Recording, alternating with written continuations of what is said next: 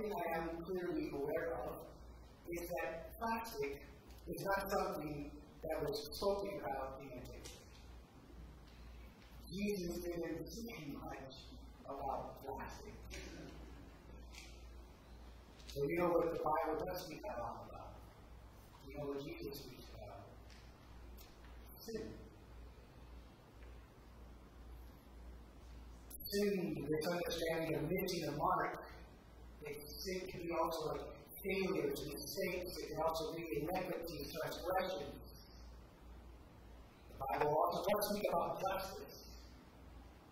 It also speaks about how those who perpetuate harm upon others, or entire communities that perpetuate harm upon other communities, intentionally or unintentionally, still sin. And so the days of, and, you know, people say, it's not my intent, or that's not what I intend to do, or the days that I'm not aware, I wasn't aware of this, are no longer accepted. A lack of awareness and education does not absolve us from culpability. Ignorance no longer dismisses our culpability. One of the greatest things found in Scripture is idolatry. Sure you've heard. And thirdly, it's the most mentioned one. There are the Creation Justice Ministries. This is an ecumenical group of leaders who helped us put together liturgy for today. They uh, define idolatry in a certain next way. They say that idolatry is putting something in our lives in the spot reserved only for God. It is a idolatry is putting something above God instead of God. And to do such a thing, inevitably, derives from a place of greed, of excess, of gluttony, which derives from a place of dissatisfaction or lacking. I wonder, why are we rarely truly satisfied? Why aren't we? Some of us try to find satisfaction in the latest, greatest, newest thing. Some of us try to find satisfaction in paper money, in power, or in pleasure, or position. Why can't we find satisfaction in one another? In creation, in the divine. Why is enough never enough?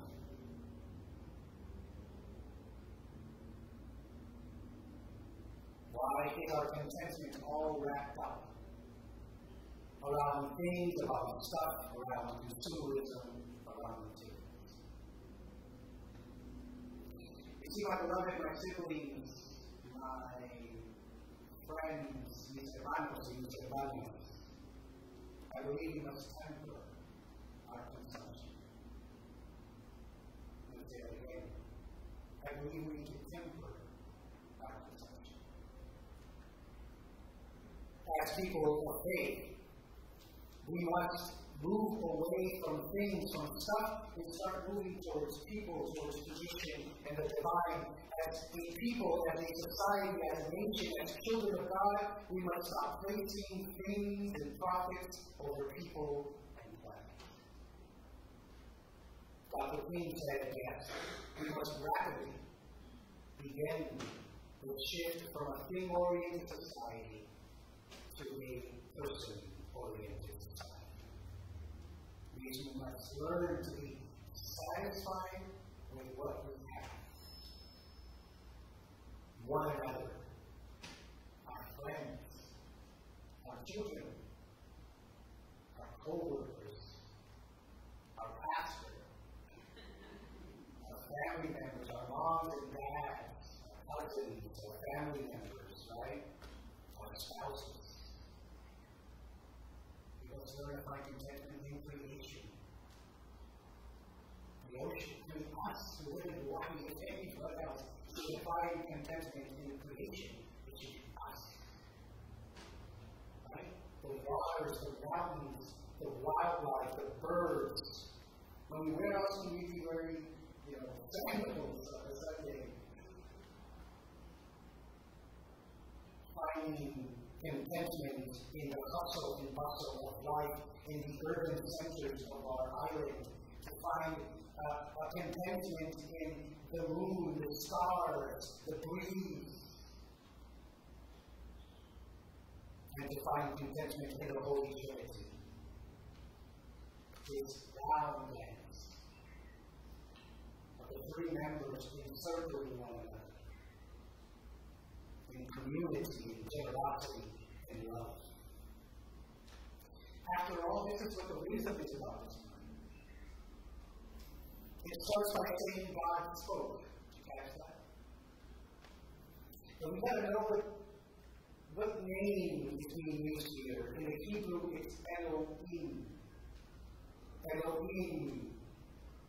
It's written in a plural meaning, by the way, as in the gods, the rulers, the judges, the divine why the plurality at such a key moment of the entire creation story? Why Elohim? Why give it this name in that that we call God, that mystery that we call God? We say three in one. We say blessed Trinity. We say Creator, Redeemer, Sustainer. We say Father, Son, and Holy Spirit. We say uh, who was, who is, and who is to come. Why? Why is this at the beginning? Elohim. Just like the divine ones spoke. The gods spoke. The rulers spoke. How do they speak? How do they speak today? You see, I believe they speak today to all creation. The oceans, the waters, the fish, the whales, the birds, the earth, humanity, all creation, in all of its abundance and growth, God speaks. But God also saw. That. God saw that it was good the divine ones, that God saw that it was good. How does God see today? In all creation. And the wisdom ends with God blessing it all. Elohim, the divine ones, continue to bless today. How so? To all creation. It was evening, and it was morning, It was Day 5.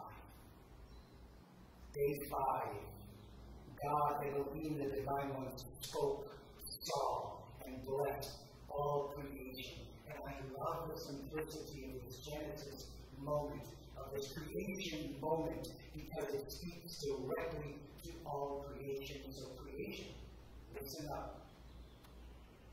God speaks to you. And Elohim sees you. The Divine ones bless you. What do we do with such beauty? Do we do with such liberation, such assurance, such in motion? Perhaps we too are made to extend that same spirit into His presence, to speak, to see, to bless all creation, to enter into the flow that is repairing and healing the entire universe, the entire planet. But I know there are many things in this world. Many circumstances, tragedies, injustices, suffering, and pain. I could tell you all about that. But what if our call is to start right here today? Among those around you in the sanctuary, to speak to them, to see them, to bless them to become mission partners, gathering together, working together so as to repair this world one thing at a time. Yesterday we gathered about 20 of us to clean the ocean. We had an ocean side and east Honolulu. We went all the way down to this uh, beach park here. Um, I was astounded by the amount of trash we picked up. I